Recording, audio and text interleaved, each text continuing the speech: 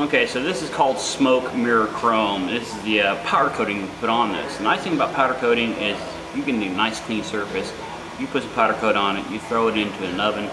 When it comes out, it is essentially bulletproof. Um, this is one of the situations where the brake boosters in this car these are going in were perfectly workable. No real justification in replacing them. However, the booster units look a little tired. So this is what we like to do. We just throw a little powder coat on them and we're done with it. Now, if you are one who's thinking about buying a powder coating system, there's nothing wrong with that idea. However, do not use your home oven. Get a sacrificial oven. I went to a restaurant supply place and I bought a small little used convection oven and I paid like 80 bucks for it. And I've had it for at least 10 years now and I've gotten my money way out of it. Okay, so if you're gonna do something like this, if you're gonna powder coat, great idea. Do like the, the little things that you either don't want to paint or paint's not durable enough. You know what you can use it for. You've probably got a million ideas right now what you would use it for. We're using it for this. We use it for a lot of little things. Yes, these are supposed to be the gold CAD coating, but in this particular case, it doesn't really matter because the owner of the car is not going for an authentic original touch. Now, but again, I want to emphasize one thing one more time. If you do like to do powder coating, do not use your home oven. The, the uh, toxins that come off of this permeate the oven and it will eventually make you very sick if you eat food out of the oven that you're powder coating it. So don't do it. Okay, this is our powder coating oven. Again, bought this fairly inexpensively at a, uh, a restaurant supply place. It was a used one, um, and it's done wonders. We've had it for a very long time, and it's never given me a moment's trouble. Um, powder coating is a great way to preserve parts that either A, you don't have the ability to paint, or B, paint won't be durable enough for finish. Um, however, you are compromising one thing. You're not going to have the original look in many cases. I'm powder coating brake booster parts that were not smoke mirror chrome in color. They were obviously gold CAD coated. Um, so in this case, yeah, we're not being authentic or correct, but however, we are putting a very durable finish that brake fluid is not going to mess up if it gets on. Okay, this is a LED conversion that we've done on this car. This has kind of become really common practice with us anymore. Uh, people like the idea of having uh, clearer vision of what's going on to the driver behind them. Okay, so what we've done, here's a, a normal uh, tail light assembly. You can see that the bulb, the bulb will go in sideways. It will reflect off the doming out. It would be a single filament bulb, and your illumination would be fairly good, but not nearly as focused as these can deliver. So what we do is we relocate the cradle behind, and we install these. Now this is a 19 and a 19. You can get them slightly bigger. You can get them all the way up to 35, but that's a pretty huge LED. But the point is, is, is the, the um, retrofitting your, your tail light assembly is not that big a job. Um, and it gives you all that much more opportunity to have a more safe experience in your car, especially when it comes to the tailgater behind you, because you all know as well as I do, it's a much different world now than it's ever been before with everybody driving with their phones, texting and looking at the internet and doing whatever they do in their car while they're driving. At least we're giving ourselves a fighting chance of them clearly seeing us.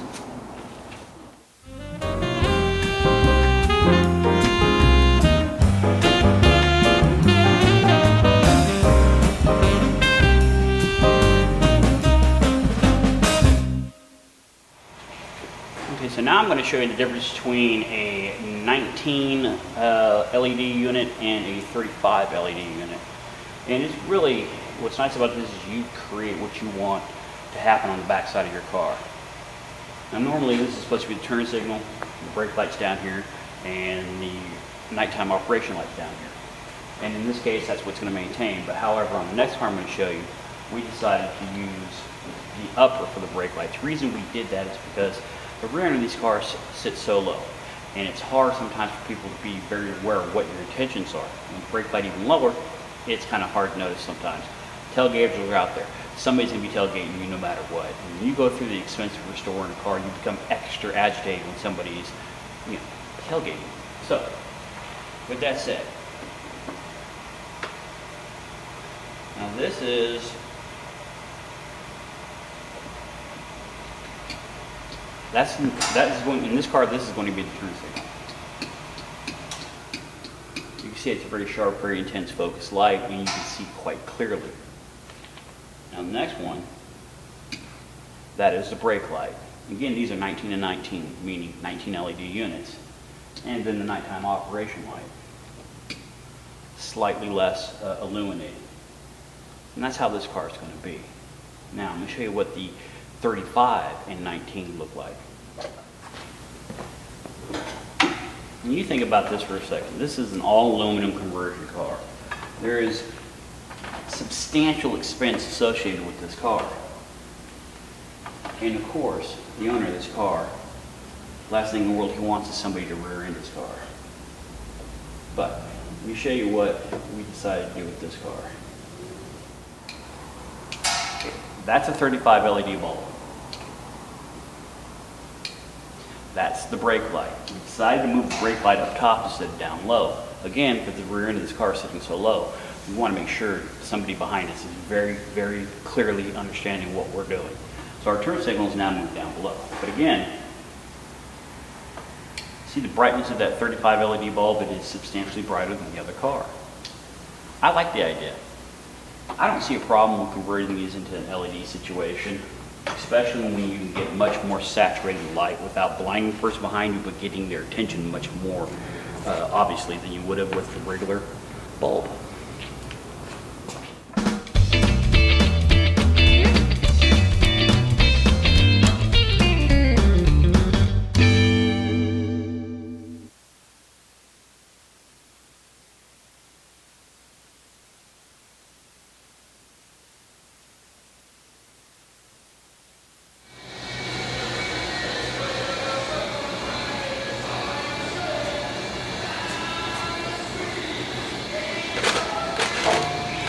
To call this car What Not to Do.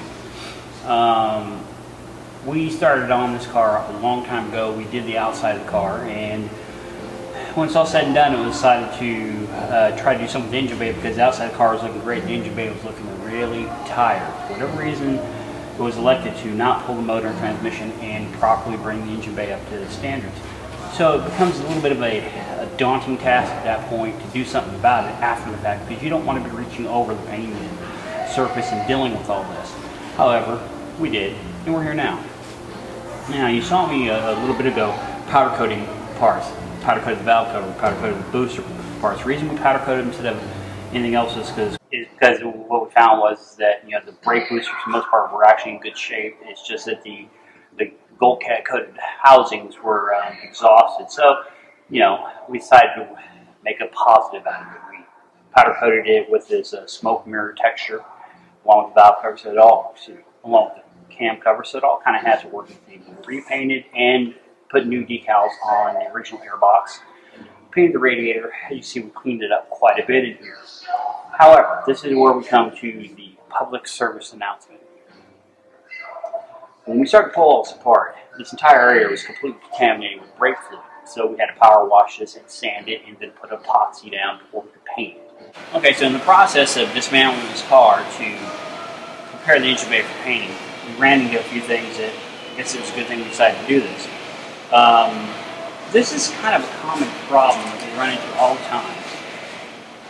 The brake reservoir and the clutch reservoir um, on these particular cars are not hard lined in. They are attached via flex line. All too commonly do we find fuel lines being used, or even worse, vacuum lines being used. Neither of these are chemical resistant enough for brake fluid. The vacuum line is what completely contaminated all this. Somebody had used a vacuum line in lieu of proper brake fluid line. And it was leaking. This is very gummy. And the rubber is completely liquid. See, just touching that, the rubber's coming off my hands. This is an exceptionally dangerous idea because not only is it going to inevitably leak and leak quickly, but if you run out of fluid on the brakes, how are you stopping the car, right? Whereas we think fuel line's okay, but it actually is not. It has the same kind of problem. It is, it is uh, rated to handle petroleum, but it's not rated to handle something as highly acidic as brake fluid. So this also becomes gummy and starts to chew up on the ends and it starts to leak. So it leaves us with what we're supposed to have. Which is this. This is uh, the, the, the, proper brake fluid reservoir line. It can be somewhat difficult to get. You can buy from your obvious, your obvious suppliers, but it's also somewhat expensive. It's about nine bucks a foot. Um, and if you don't know what to ask for, you're not going to be able to find it at a parts store because parts stores don't normally carry this. This is unique to them as well. But what you need to know is this is made, first of all, it's blue, made by Continental, and it is a reservoir line. If you ask that, theoretically, you should be able to find it. Um, the most important parameter of this stuff is that it needs to be able to withstand brake fluid as its agent is traveling through it. That's specifically what it's designed for. Anyway, so in the process of the build, first thing you really, want to do if you're restoring a car is you want to pull the engine out, the motor out. You want to, you want to get everything out of the engine bay. You want to completely decontaminate the engine bay. This is probably the first thing you need to be painted. However, in this car, this was the last thing we painted. I'm not a fan of it. We didn't pull the motor, although we will be able to finish up some of the painting. You can't see it, it's underneath from the lift. Um, this is not exactly the most ideal way of doing it, and I would not suggest you do so. Um, know that the going to get painted and you don't want to see the labor doing the motor cleaning out it is, then I wouldn't start until you did. Because quite honestly, um, who wants to pull the motor out of a freshly painted car? Because if you chip or scratch or dent the car, it's a lot of work to fix that versus doing this first and building the rest of the car around it.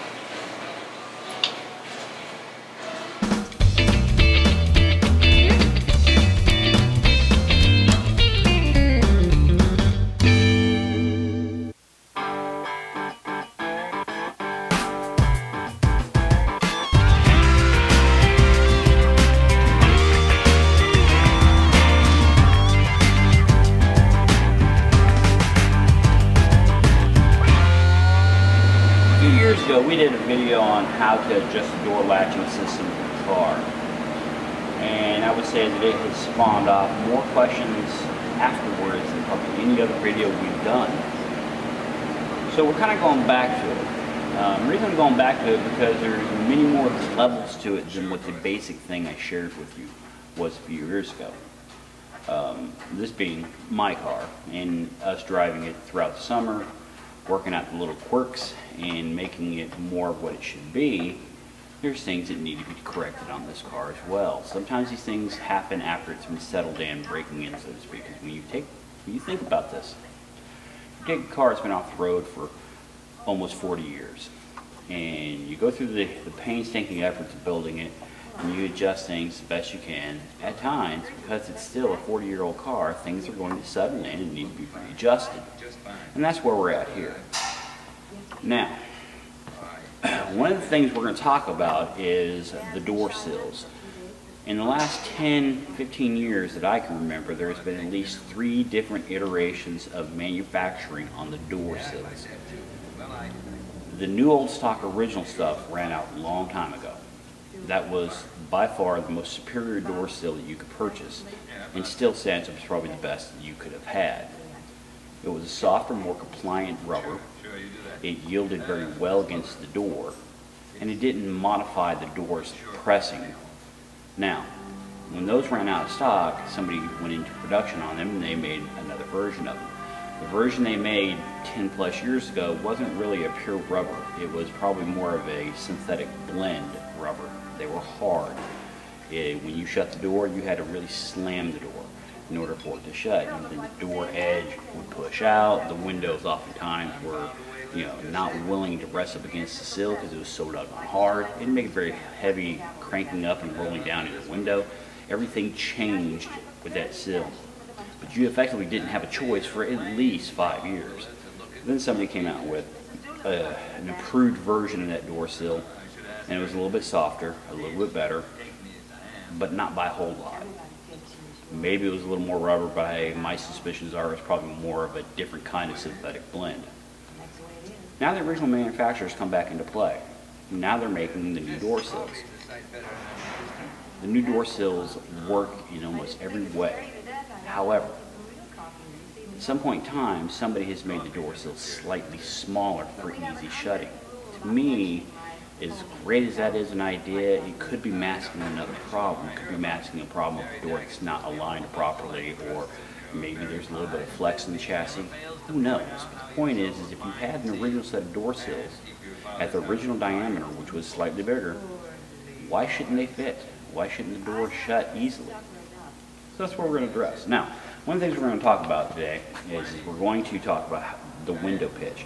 There is an adjustment here and here to pitch this window, okay? The front of this is fine. It seals up against the door quite well. However, the back of this has moved over time and it's away from the door. Is that that big a deal? Yeah, it is. Um, not so much because of the prevention of the noise and the elements, but effectively this is affecting the drivability. This affects the experience of the car. When you roll up the windows, you expect the car to be a little more quiet. Why shouldn't you expect those things? Well, that door sill window relationship isn't fairly tight, I don't mean crushing, I just mean where they're in full contact, then you're getting excessive noise in the car, and that does affect the overall driving experience. So we're going to talk about pitching that window. The other thing we're going to talk about is the relationship of the latch height adjustment, which we talked about before, the striker engagement to the receiver, and how all that needs to work in a very fluid manner. You need to make these adjustments without a door sill in. If you don't have a solid baseline, when you put a door sill on, you're competing not only with the relationship of everything, but now you're competing against the tightness of the door sill against the door. Door card off is a plus. Uh, window, excuse me, door sill off is a must.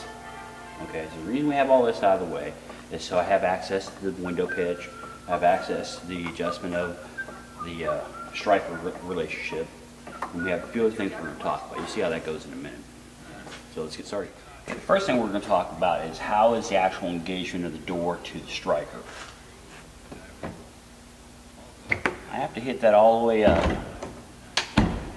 There's two latching systems here, okay? Okay, you see it, that's the safety latch engaged right now, so of the two latchings, only the leading edge one is engaged. If I put a little effort to it, the second one is now engaged. I have no gap. Okay, so I had to fully height this up in order to get this to clear the actual latching. That in itself was already a problem, so we need to compensate for that in, in some positive way. The other thing is, see how much gap I have before I'm hitting the strike? That is too early. The reason that is a relevant statement is because as a striker, as this is so far down right now, if it's hitting the receiver early, that means it's going to carry up and constantly go up, up, up, up until it gets over the latching system. That means you're driving the door to shut. I shouldn't have to do that. It should be a fairly smooth shut on its own.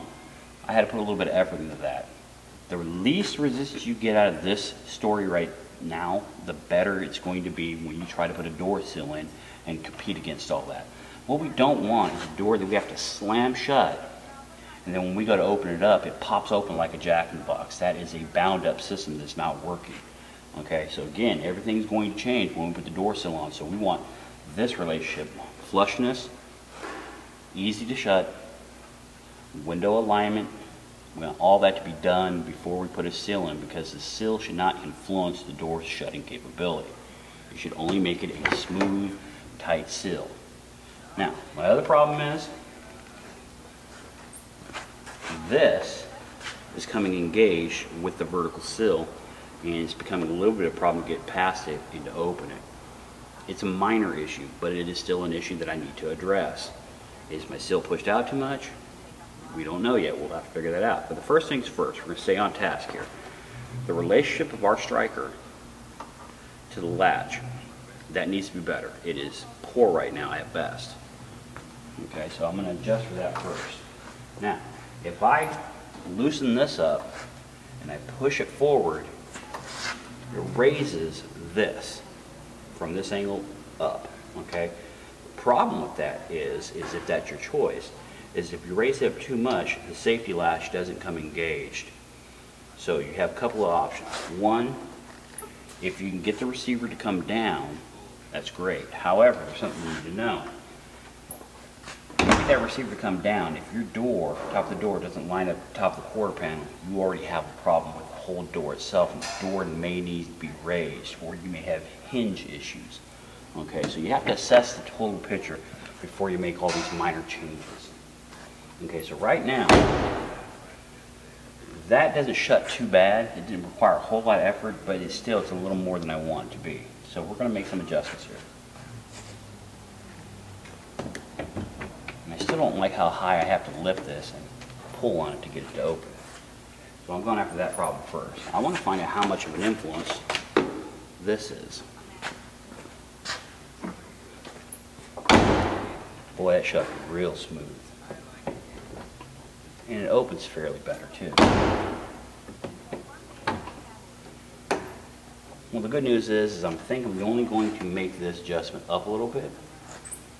And I bet you that's going to cure most of that problem. However, this problem, I need to make something happen with this because apparently this is pushed out too far and it's influencing the striker's engagement to the, to the latch. Okay, so my adjustment for this is right here. I'm going to loosen it up and show you what it looks like.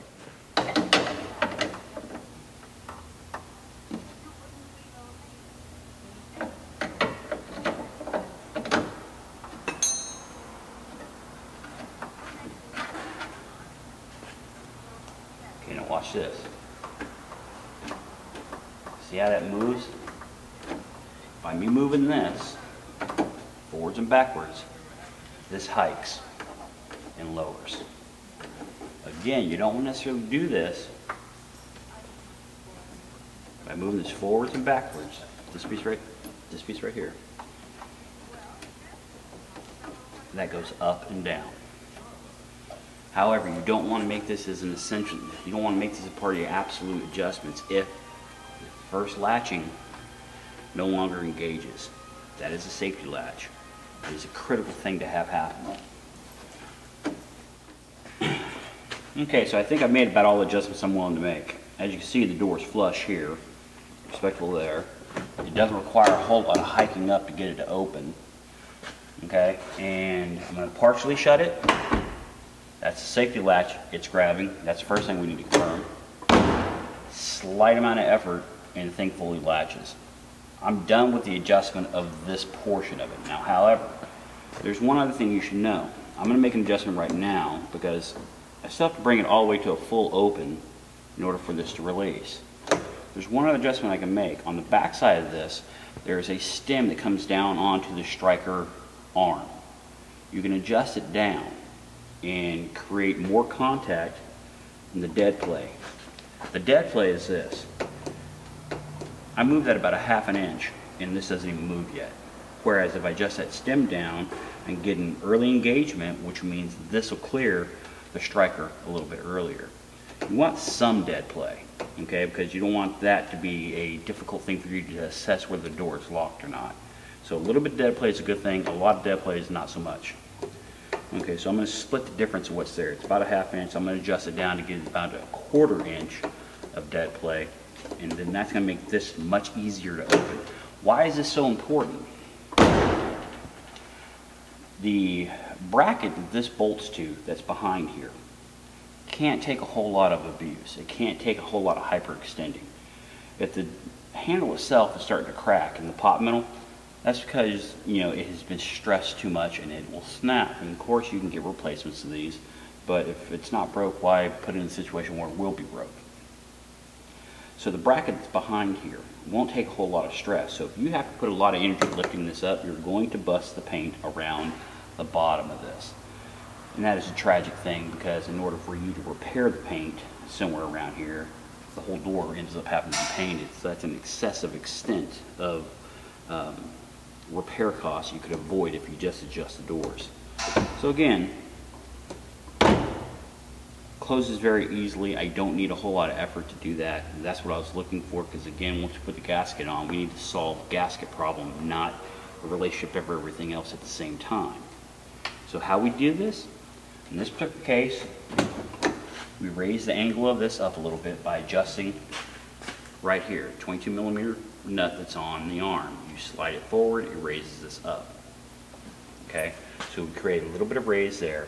We made sure this does not come engaged to the latch too early. Okay, that's pretty good. If I got about that much before I get connection, that's what I want. Okay, and also we don't want this to determine the door shutting. You don't want this to influence it. You want it to just be simply a guide, not something that's lifting the door up or pushing the door down to shut it. Okay, so again, for me to be that early, here we are on first latch, slight amount of effort, very little effort, and it shuts all the way tightly, flush, and clean. Now I know when I go to put my seal on, that this same action needs to happen just with a little bit more energy because I do want my door to press against the sill. I don't want it to crush the sill. There is a difference. Okay? Now you can see right about now, if you have door sills that are the, the early reproductions, which are that rock hard rubber, it's an uphill battle. You may never get this to work right. Okay?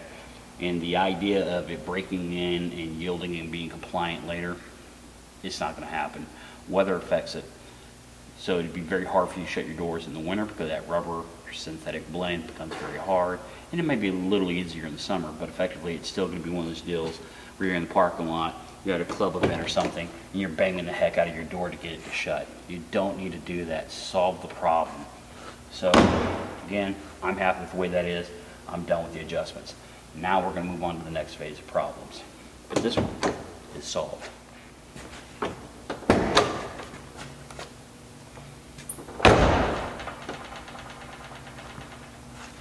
Okay, so let's open this up. Let's review a little bit what you got to do. So we made adjustments on the latching and the striker make sure they were about as minimal resistance to one another without the gasket in. And then we put in a gasket. Now this is the, one of those second iteration gaskets. That means they're a little bit softer than the first reproductions, but not quite as nice as the new ones that are out now. So you're probably gonna have a whole lot less struggles to get these things to work for you if you buy the newer ones. But again, so in review, we make sure that our latching to striker matches up with minimal resistance and no gasket in place. Your adjustments are here, moving this back and forth, raises and lowers the pitch on the, on the cleat. You can adjust here as well if you need be. But when you have the gaskets and everything out of the way, as you bring the door close in, you should not have an early greeting of the striker to the latch. It should be somewhere with about a half an inch or so of the door sticking out. That's only when we start to feel the contact come into play. It shouldn't come into play as soon as the door comes even close. Something's not right. Also, pay attention that you're not seeing the door lift up onto the striker. That could be one of a couple of situations. You could have hinges that are completely done and need to be rebuilt or you can have a striker and latching system that's way out of alignment and it's forcing the door to act in unnatural characteristics. Now, with that said, again, before gasket goes in, you want to make sure that the pitch, which is adjustable here on the window and back here on the window, you want to make sure the window pitch is just right to where it's in contact with the sill but not crushing the sill. Okay, so those are your primary things you need to address. And then at that point, you can put the sill in and double check all of it. Now you expect the sill to create some resistance, but it shouldn't be this unbelievable amount of force to shut your door. If that's the case, you have something wrong or the sill is just not right. That's about all I can tell you on that.